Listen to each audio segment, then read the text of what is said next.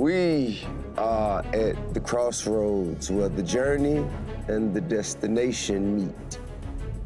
George, Crystal, both of your hustles were very impressive. Different, but equal. Let's get to the numbers. Crystal, you sold four packages for a grand total of $6,000. Yes, man. Yeah, yeah, yeah. George, let's hear how you did. You sold seven packages for $100 a person. But like a true hustler, you adjusted and upsold your clientele on bottle service, giving you a grand total of $2,384. But still good.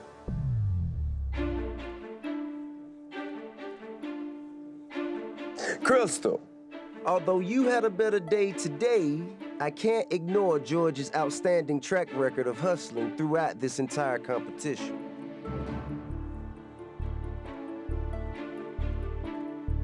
It's a tough one. Won't feel good for one of you either.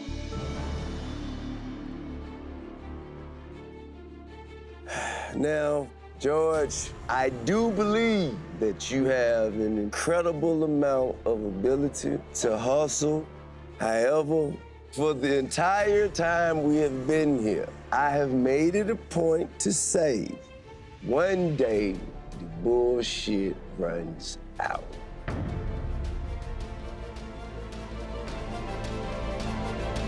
George, unless you plan on doing it by yourself, you have to make some serious adjustments to get people to work with and for you. And for that reason, George, you are not good enough.